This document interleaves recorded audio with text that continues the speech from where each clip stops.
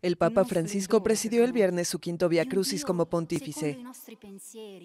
Una familia egipcia cargó la cruz en el Coliseo de Roma, escenario de un recorrido que conmemoró el Calvario de Cristo hasta su crucifixión frente a unos 20.000 asistentes.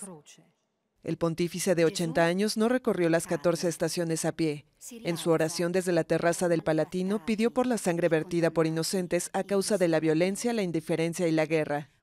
Durante el acto, el Papa pronunció varias veces la palabra vergüenza y se refirió hacia el hecho de que imágenes de devastación, destrucción y naufragio se hayan convertido en algo ordinario.